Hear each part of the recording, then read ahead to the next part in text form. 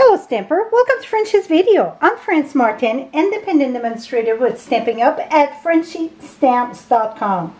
Today I'm going to share to how to make the the winter fog card. That's what I call it. I was inspired by, uh, I think her name it's Linda Dulk. Not sure how to pronounce it, but that's what I think it was. So we're going to start with, and I'm using different stamps, and it, it was the fog that really intrigued me.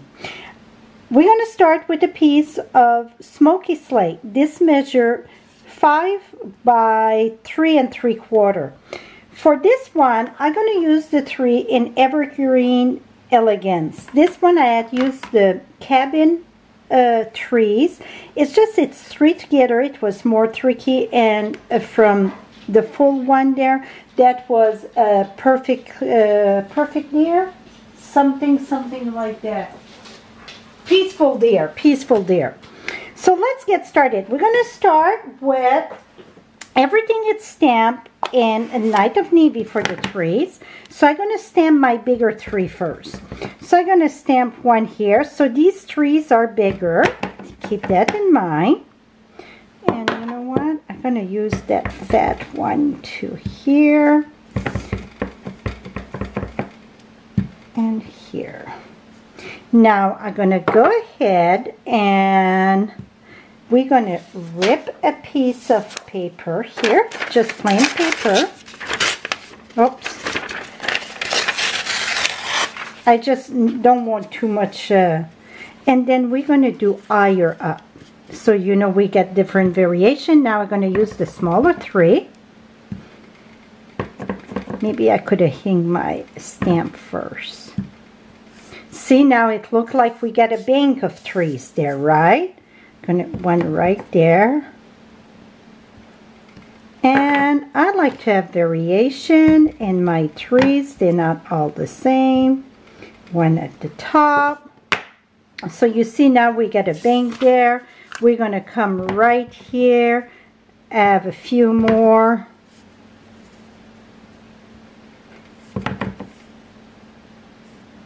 See, I just moved my paper. See, I get another one there. Now maybe I want right there. And then I need something here. That one, I'm going to use the tallest, the skinnier. I like the evergreen because I get more variation in my trees. And I'm going to put that just a little bit up, lower there. So you can have different. So this one go there. Now it go this way et voila. So I'm going to put another one in the corner there. Right here. Here we go. So now it look more like a forest. And I can even go higher if I want. But I want to have like the sun in the winter when it tried to peak on the foggy. I'm not sure if you guys saw a foggy winter day. But it is gorgeous. Gorgeous. Or it's that mist that it's freezing. I'm not sure. So now everything else going to be using, oops. Well, this gets stubborn there. One minute there. It's my stamp. It's dirty. One minute. So when that happened, I'm going to use my uh, mist cleaner there. Sometimes you get like dust or you put it on your clothing and don't stick well. Here we go. Now I'm going to take this and I'm going to stamp my moon or sun right here. Okay, and remember it will dry much lighter. Now, we don't dry or I don't dry my ink and some of it it's not all the way dry and that's what's going to give that very that fog and push the blue so I like to come from the bottom you know what? Let me use uh, a scrappy paper because the white ink, this is a pigment ink, so it's very sticky. It's what you can emboss with. So you want, it's going to take a little bit of time to dry, so keep that in mind. So I'm just going to push from the bottom here. See the blue? and then I'm going to go, so now I go in between. So some place I leave it more the way it is, and other place I'm going to do more. Whatever that you like. Now I'm going to push this here.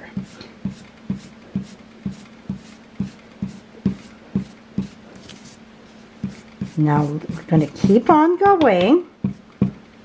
See, I tap on my scrap paper where I don't want it too much. See how, and it's going to eh, dry lighter. Now I'm going to take more and I'm going to go just below here. Make a little bit more snow there. Okay, that's pretty good. Now, if you want some of the tree to be more pronounced, you can stamp back on top of it. And this is not a photopolymer stamp, so it's a good chance you're going to be off, but that's okay because it's going to give a shadow. Let me uh, put a little bit more at the top here in my sky. Here we go. So my sun, it's, you don't want the sun too bright because really it's on a foggy day. It's still Et voila. Is that cool? And it's even cooler when it dry. Okay, where's my, uh, let me wash my hand here. I got my hanky rag with, I'm using just that stamping mist there. Here we go. So now, to do your uh, greeting, to let this dry completely. Because if you don't let it dry, you're going to have a mud pit. I'm still going to do it and I'm going to stamp back on top of it when it's dry. So I want to show you how I'm going to do the, the thing. I put a strip here. Yes, I dropped my uh, Stamparatus when I was moving uh, my card base. So, my top. That's the reason why. I got just a window sheet here that I use all the time with my Stamparatus going to put this here. The greeting that I'm using, it is the one and only I'm going to say that just because that I love it's from um, After the Storm. Now you're going to put this at the top. Remember, this is not dry, so, but you're going to have the jig. Now I'm going to place that here about where I want it. And before I stamp on my card, we're going to stamp on the window sheet then you're going to see if it's at the right position. If it's at the right position, then we can go to town with it. So now I'm just inking this. Make sure everything is pushed in the corner. That look very straight. Let me, uh, yeah, that is straight. So if it would not be, I want maybe to just, this, up, oh, I move it now. So let's try that again. Okay, now let's try that again because I want to show you if you didn't do it right, you're just going to wipe this. Then you're going to try again. So that way, sometimes you just off a little bit and enough to drive you crazy. Okay, this is very good. So the only thing that I do, I just use my inky rag and I spritz some uh, stamping mist there and wipe that. And this lovely, you can see how yucky it is. I keep on using the same one. It's just a window sheet. Take a window sheet, cut it. Um, you can cut it six by six really, or whatever you want, and then you can use it.